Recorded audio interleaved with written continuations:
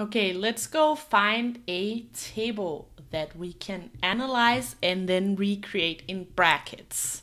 And let's find something fun. League of Legends tournament results.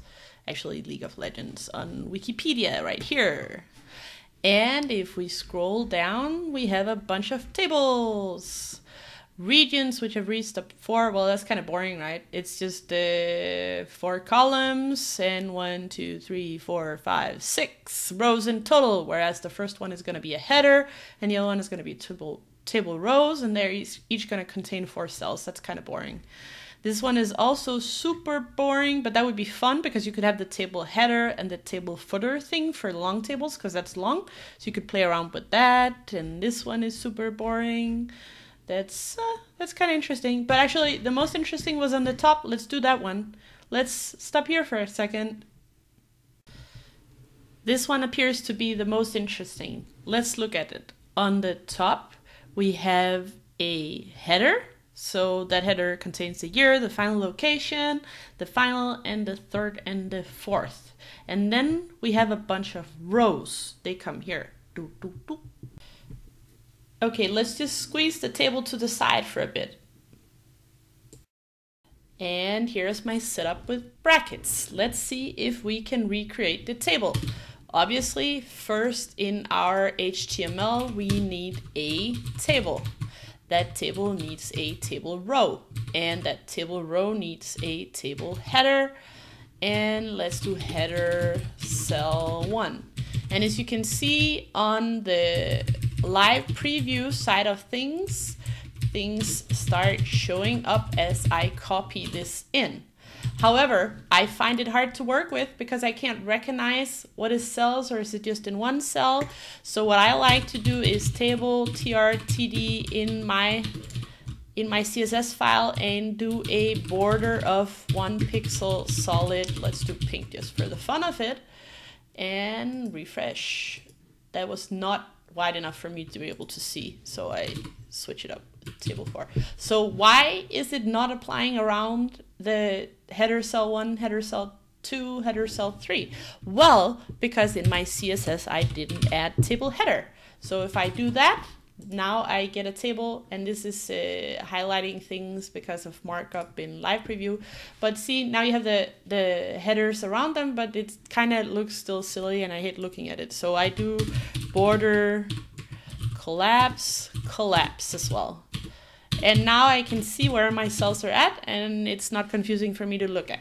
Now I want to create a other row in my table. So I go table row. Now I put table data because this is score one that goes in here. And I then repeat it. I could score two and score three. What happens if I put another one is that the top line is not going to grow in terms of numbers of cells. It's just going to show up with an empty field because I expand the size of this uh, second row. So if I put in fourth, you can see it's just going to expand. Now, uh, I could repeat that like this, table data, actually the whole table row and let's do a beautify because it's kind of hard to read. So I just go ahead and save it and now it helps me indent it, right? So score one and then I have to refresh because of stupid live preview. So you can see here on the right hand side that I have it, the header cell is, is, missing one. That's because I only have three children of the ta first table row, but I have fourth children of the second table row. And what I like to do is simply just create so that I have an equal amount. And then when I have that, when I have that, I can go back and look in my League of League of Legends League of Legends table uh, score table to figure out what I need to do. And let's look at that for a second. So as you can see, we have one, two, three, four columns. Or did we have one, two, three, four, five, six columns? Huh. What I think I'd like to do is rather than embedding a whole table within cell or uh, header cell 3, what I'd like to do is actually make one, two, three, four, five, six, and then do some col span row span fun. Okay, I I admit I've gone ahead and cheated a little bit. I've made a, a two header lines, header cell one and header cell two. I I basically just copy pasted them and extended them to six cells because that's counting, right? Then looking at this, what I need to do is find out how I can collapse the one that is one, two, three, and four, and five into being just one cell. So that's going to be one, two, three from the top. So that's going to be one, two, three. If I take this one and I write col span equals three, what's going to happen is that it extends and it pushes out cell five and six. That looks stupid. So if I go ahead and delete those, I am back at it now.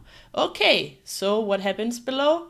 Well, it appears actually I should have counted more than six, right? Because we have score that's apparently two columns as well, but it's just collapsed. What should we do? Do do do do do. Well, obviously, what we should do is go ahead and make this one four instead, right? So that expense now four, which means that we also have generated a new one here that's gonna be seven and Yes, seven, and that also means this one generates a seven, and so on and so on. We do the same here. And seven, right? Because then when I look at score, that's gonna be the one that says score right here. Let me mark it up for you. This one, we're gonna collapse two that corresponds to this one and this one. So header cell 4 in the second row. This is the first row, this is the second row, header cell 4. This is that one, that's going to be col span equals 2. That pushes something out. It pushes out header cell 7, this one. So let's go ahead and delete that. That looks better. And let's actually now start marking it up. Uh, score. Okay, and the one before should be champion, champion. Oh, that's just hard. Spelling is hard. And this one should be runner up, runner up. Okay, so what should I write here? Well, that one should be put together with something using a row span. Should that be in the first line or in the second line? Well, it should be in the first line, and let me show you why.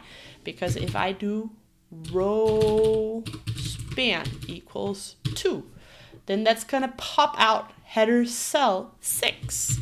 So I can go ahead and delete that. Yes, and in this header cell 4, what should I write here? I should write a third, third, third, fourth. Well, wow, spelling is super hard. Yes. Okay, so year, this one, that should also have a row span of two, right? And then that's gonna be year. And this one, what's that gonna be? A row span of two. And what should that be? Final location and header cell 3. Well, now you can barely see in my drawing downs underneath, but that's its final. Oh, what happened? What happened? What happened? Something happened here, right? So, what happened here? That's because these pop out, right? These pop out because we changed row span on the top end.